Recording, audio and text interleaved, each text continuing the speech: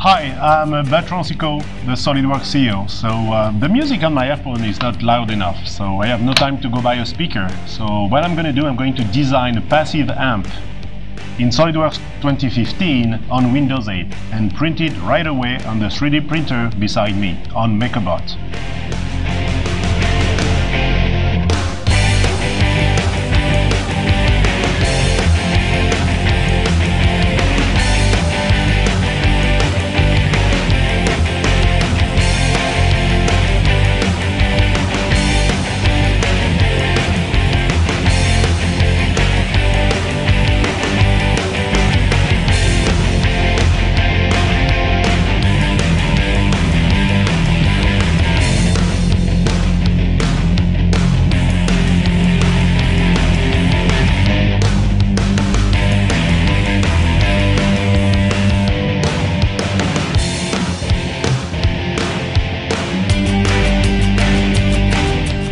I have picked Draft as the quality because I'm short on time. I could have selected also medium or fine.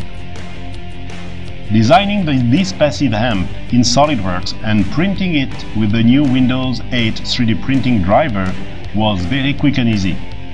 Easy as SolidWorks.